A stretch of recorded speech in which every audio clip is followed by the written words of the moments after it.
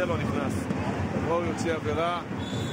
אה, שמע, רוזן עשה הכל כדי להתחמק ממגע והוא מקבל בלתי ספורטיבי. נו, באמת.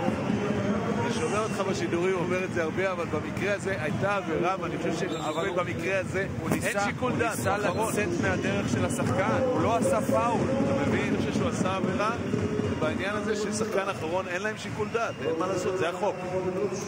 טוב, נו, נסכים שלא להסכים, אריק. בסדר. אנחנו אה, אל אה, פסק זמן, כאשר.